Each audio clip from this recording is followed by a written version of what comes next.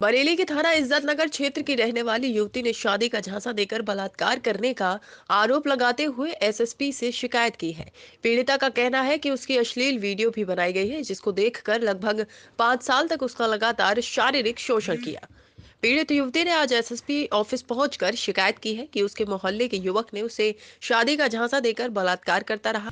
पीड़िता का कहना है कि उसकी नग्न फ़ोटो इस्लाम ने खींच ली और उसको वायरल कर देने की धमकी देते हुए उसका पाँच साल तक लगातार शारीरिक शोषण किया।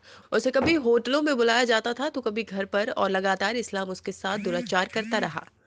बीती सत्रह नवंबर को उसकी चाची जब उसका रिश्ता लेकर युवक के घर गई, इस पर युवक और उसके भाइयों ने उसकी चाची के साथ गाली गलौज की और मारपीट भी की।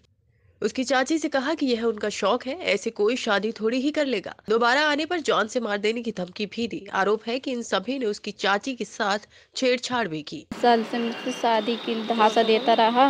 शादी के लिए की रिश्ता लेके भेजा मम्मी चाची को अपनी तो उन लोगों ने मार पीट की घर में से निकाल दिया। अब मुझसे कह रहा शादी की शादी नहीं करूँगा मैं।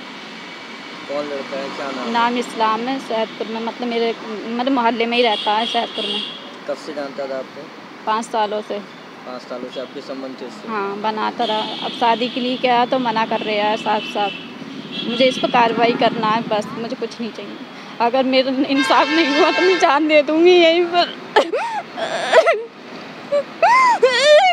पुलिस वाले कुछ भी कोई